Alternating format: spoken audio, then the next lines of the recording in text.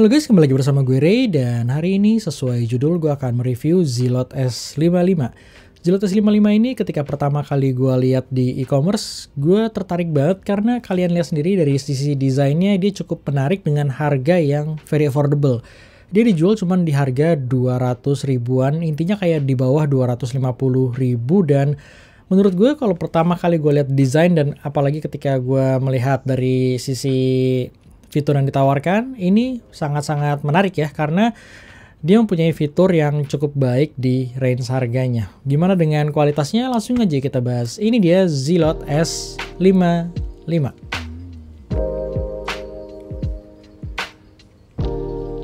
Oke, okay, seperti biasa awal-awal gue akan membahas dari sisi desain dan build quality-nya seperti yang kalian lihat ya, desainnya ini keren menurut gue. Ini bahkan salah satu desain Zillow terbaik yang pernah gue lihat dan gue review di channel ini. Desainnya nggak neko-neko, simple, size-nya juga cukup uh, besar ya menurut gue. Jadi dia mempunyai size mungkin seperti JBL Flip 5, nggak berbeda jauh dan dari sisi beratnya juga cukup berat nih. Beratnya ini mencapai 500 gram atau sekitar setengah kilo. Jadi pertama kali kalian angkat, ya ini ya bukan speaker di range harga 200 ribu. Jadi dari sisi build quality-nya gue suka, materialnya gunakan cukup baik dan dari sisi layoutnya kalian lihat dari sisi atasnya ada 5 buah tombol seperti speaker pada umumnya ada tombol on off, ada tombol play pause, ada tombol volume dan ini ada tombol M atau mode. Ngomong-ngomong soal mode, kita lihat dulu di sisi belakangnya dan dia menawarkan input yang sangat lengkap. Jadi apa pun yang kalian butuhkan ada di sini mulai dari auxiliary, dari USB, dari memory card bahkan sampai radio pun ada. Dan untuk charging portnya masih menggunakan micro USB. Kalau USB Type-C akan menjadi sempurna ya speaker ini ya. Tapi it's okay buat harga 200 ribu micro USB itu masih sangat wajar. Di bawahnya ada 4 buah pad karet yang bisa menopang speaker ini juga cukup baik. Dan pastinya speaker ini tuh udah menggunakan uh, eh, RGB mode. Jadi coba kita nyalain dulu. Welcome to use Zealot product Bluetooth mode. Seperti speaker Zilot pada umumnya dan gue tahu apa yang ada di pikiran kalian ketika pertama kali nyalain speaker ini tapi it's okay, gue akan skip. Kita lanjut aja mengenai RGB-nya yang kalian lihat sendiri. RGB-nya tuh ada di sekitar speaker ini dan dia hanya ada satu buah mode RGB. Jadi kalian hanya bisa matiin atau nyalain RGB tersebut tanpa bisa ganti modenya. Untuk matiin cukup kalian tahan tombol play yang ada di tengah sini selama mungkin sekitar 2 detik dan dia akan otomatis mati dan kalau kalian menyalain lagi sama tinggal ditahan lagi selama 2 detik dan untuk spesifikasinya sendiri dia ada 6 watt total jadi ada dua buah driver ada masing-masing berukuran 3 watt. Jadi untuk wattnya seperti biasa dari dulu gue selalu salut dengan Zilot. Dia nggak pernah melebih-lebihkan uh, kapasitas watt yang ada di semua speaker ya jadi 6 watt ini bagi sebagian orang pasti jadi nggak terlalu tertarik karena orang berpikir kayak wattnya kecil banget. Tapi kalau kalian memang nggak bermasalah dengan hal tersebut sebenarnya dia ditulis 10 watt atau 12 watt. Gue yakin banyak orang yang masih percaya karena melihat dari sisi size-nya yang memang nggak terlihat seperti sebuah speaker 6 watt terus selanjutnya untuk IP rating gue agak sedikit bingung di Zilot S55 ini karena kalau gue cari dari spesifikasinya dari dusnya nggak ada uh, keterangan mengenai IP rating yang ada di Zilot S55 ini tapi feeling gue dia minimal harusnya udah IPX5 mengingat slotnya yang udah ditutup dengan pad karet seperti ini ya. Jadi anggaplah dia udah at least tahan dengan uh, air hujan dan cipratan air meskipun kalau untuk IPX7 gue masih nggak yakin karena memang nggak ditulis di spesifikasinya. Untuk fitur TWS-nya pastinya udah bisa di S55 ini dia bisa mensupport sampai dua buah speaker. Jadi kalau kalian pengen butuh stereo ya kalian tinggal beli aja Zilot S55 ini dan dia akan bisa mensupport True Wireless Stereo. Dan untuk Bluetooth version, dia juga udah menggunakan Bluetooth versi 5. Kalau dari sisi latency atau delay-nya standar ya, seperti speaker-speaker pada umumnya yang menggunakan Bluetooth versi 5 di range harganya.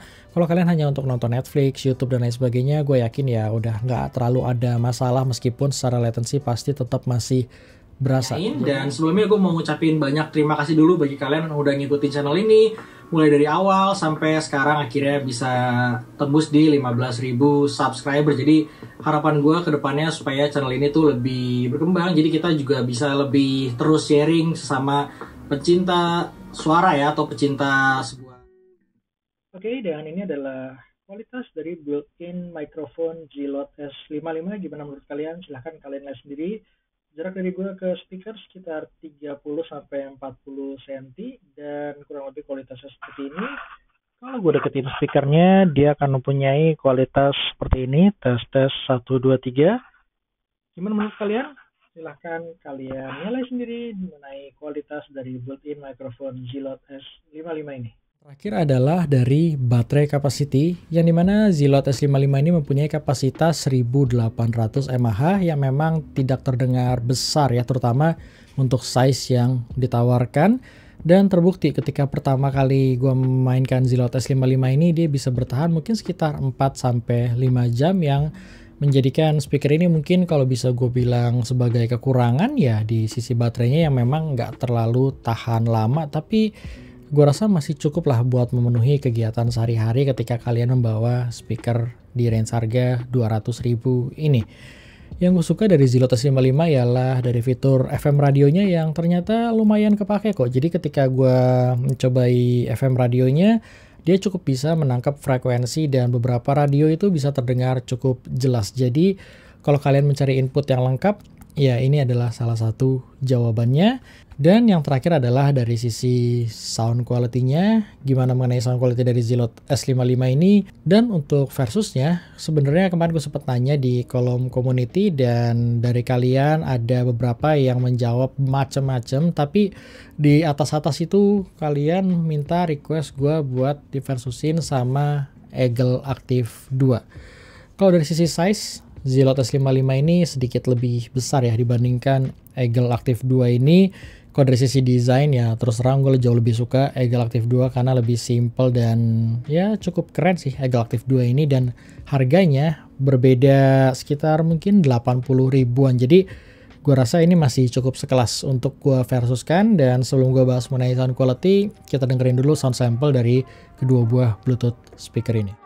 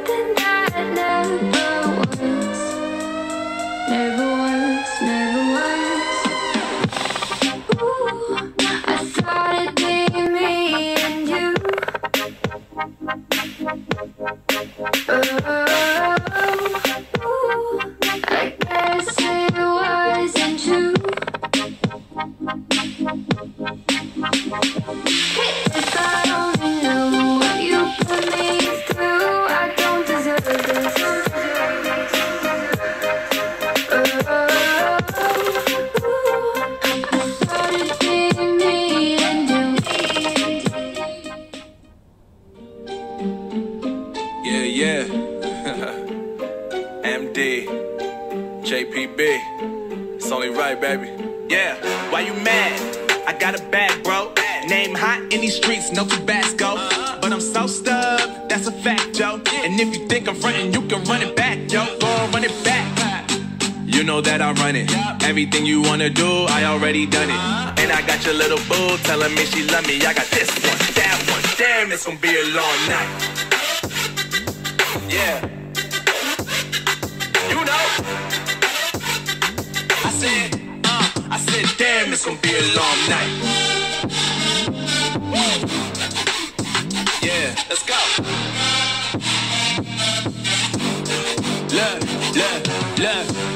Told Shorty drop it for a real one. Yeah.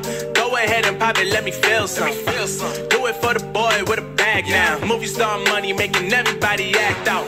I don't lie to these women. If I want them, then I tell them. Don't get fly for these women. I was born with these propellers. All my haters cannot beat me, so I call them my capellas. See, I'm only getting better. You only get jealous.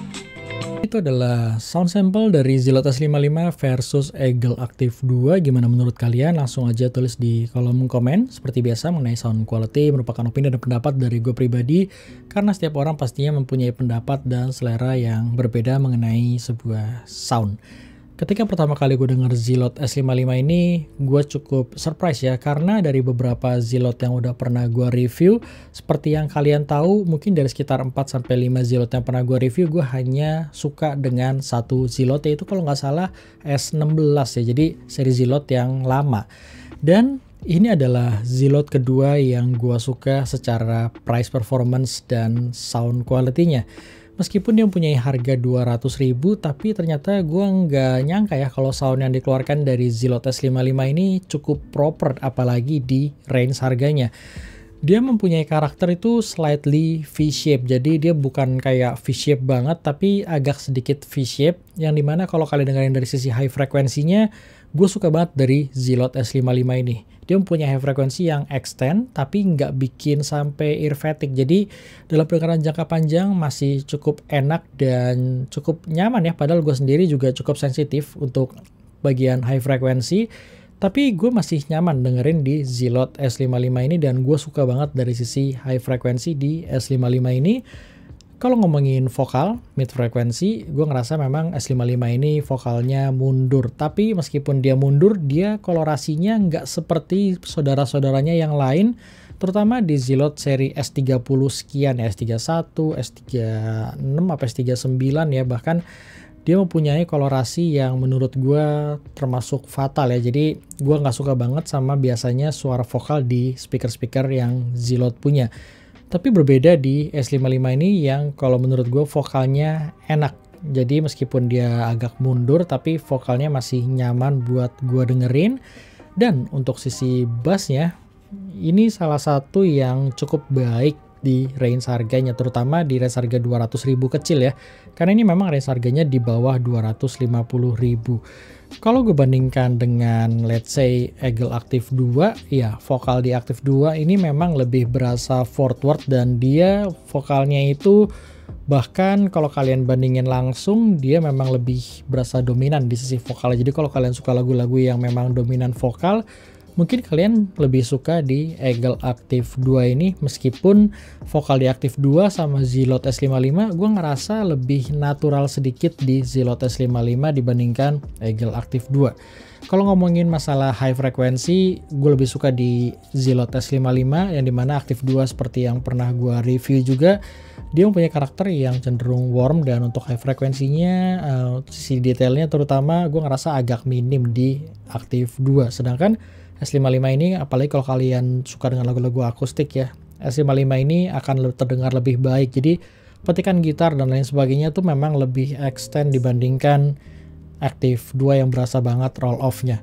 Untuk bassnya sebenarnya kalau kalian dengar secara langsung keduanya ini nggak berbeda terlalu jauh terutama untuk volume di bawah 60% yang membedakan adalah di Active 2 memang terdengar lebih apa ya kayak lebih deep dibandingkan uh, Zilot S55 tapi ketika kalian setel di volume 70% ke atas Active 2 baru keluar power bassnya yang memang lebih bagus dan lebih apa ya secara kuantitas lebih besar kualitas pun lebih berasa dibandingkan Zilot S55 jadi kalau kalian memang lebih dominan atau lebih suka bass ya mungkin Active 2 akan lebih cocok buat kalian tapi kalau kalian lebih suka clarity yang bagus atau misalkan kalian lebih suka lagu-lagu yang bergenre akustik S55 ini lebih baik dibandingkan Eagle Active 2. Jadi dari sisi sound quality keduanya ini seimbang.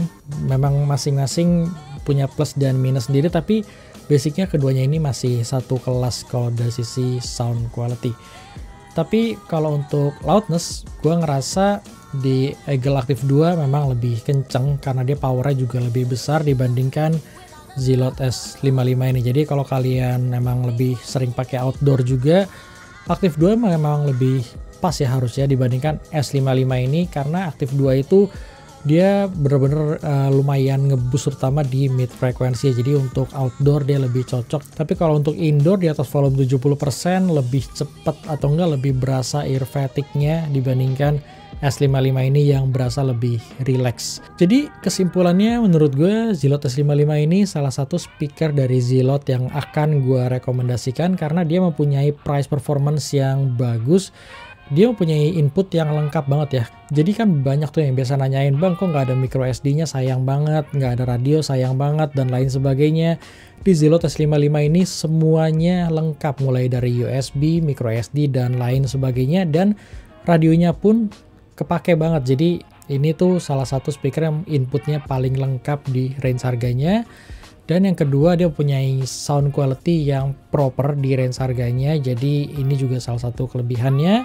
Yang ketiga build quality-nya pun bagus menurut gue. Jadi dia nggak terlihat seperti sebuah speaker harga 200.000. Kekurangannya adalah yang gue temuin cuman di masalah baterainya yang memang hanya bertahan sekitar 3 sampai 4 jam dengan RGB-nya nyala. Kalau dimatiin mungkin ya nambah satu jam kali ya gue sendiri nggak ngetes sih. Jadi paling itu aja yang bisa gue sharing mengenai Zilot S55 ini. Kalau kalian berminat akan gue coba taruh linknya di bawah. Thank you bagi kalian nonton dan sampai ketemu di review gue selanjutnya.